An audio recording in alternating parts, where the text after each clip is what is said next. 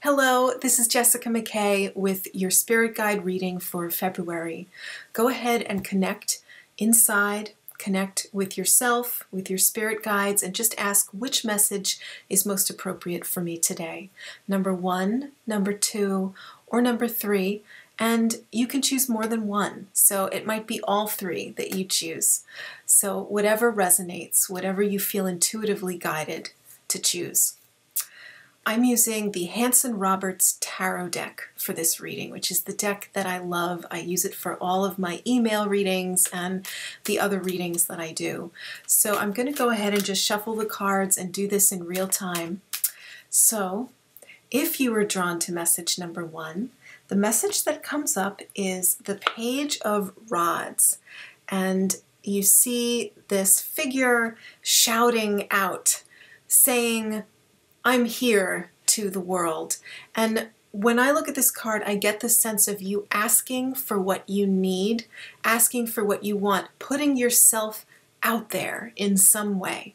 Whereas maybe before you may have felt like it wasn't okay for you to do that, or um, you were worried that other people couldn't quite hear you. I feel that now this is your time to be able to do that. Um, and this is also my sense is that this is about something that you want to do in the world. It has to do with your personal power, your feeling that you have the ability to move forward with something. Um, I also get a creative energy behind this, that there's something you're wanting to create, um, whether that's art or um, a story or writing, but there's there's something that you want to create and you are lending your voice, your voice to this. Um,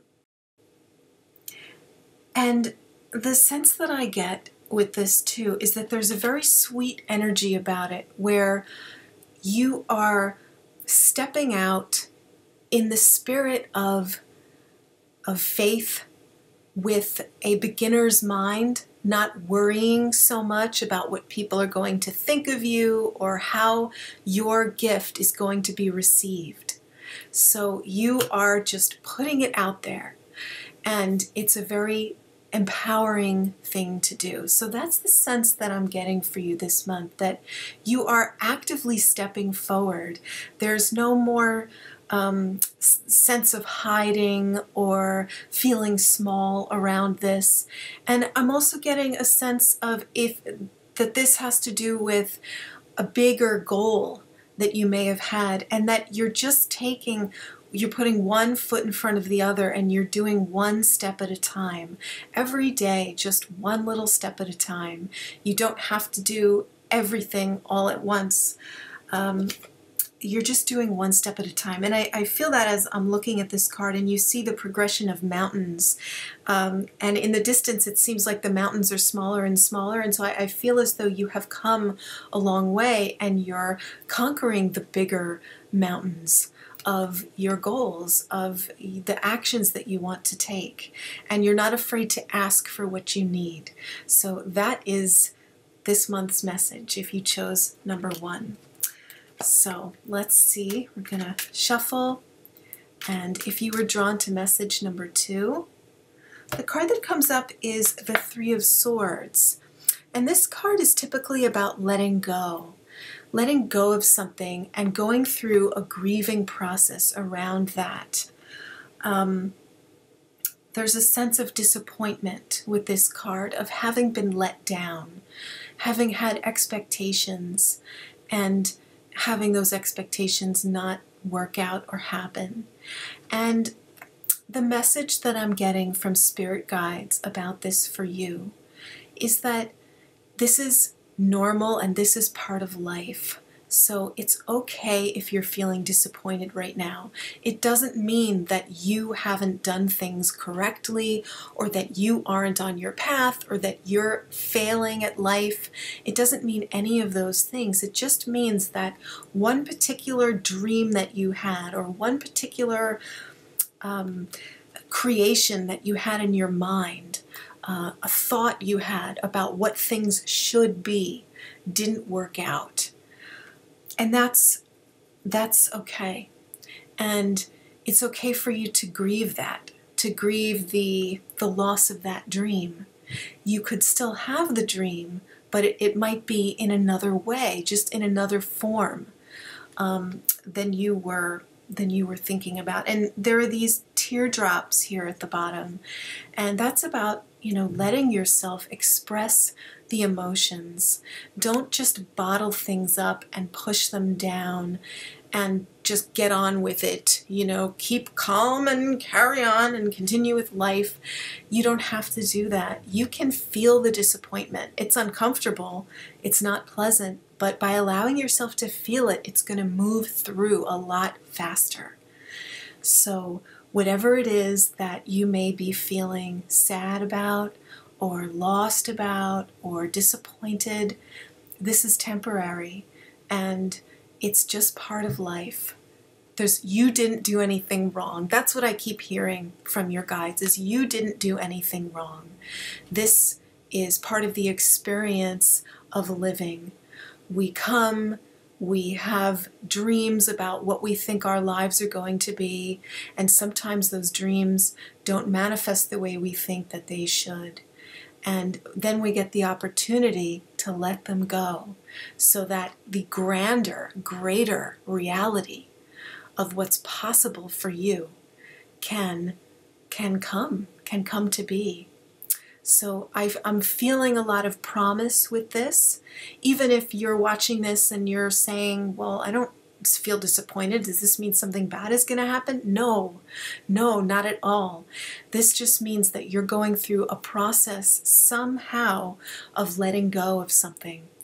Um, it may be easy for you. You may not even be feeling that much remorse, but there's a process going on inside you right now of letting go of something that you don't need anymore.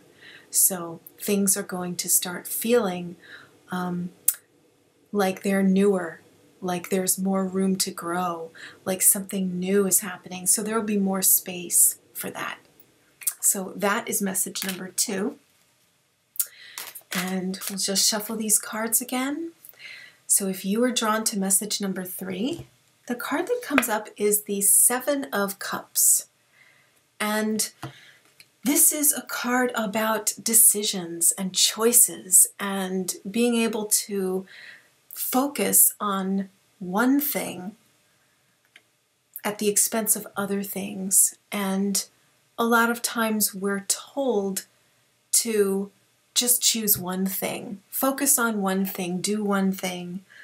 Um, and I'm getting the sense that temporarily it's good to focus on one thing because you can only focus on one thing at a time. True multitasking doesn't really exist. Um, but I, I'm also getting that it's okay for you to be interested in more than one thing. It's okay for you to have multiple roads and paths that you want to go down.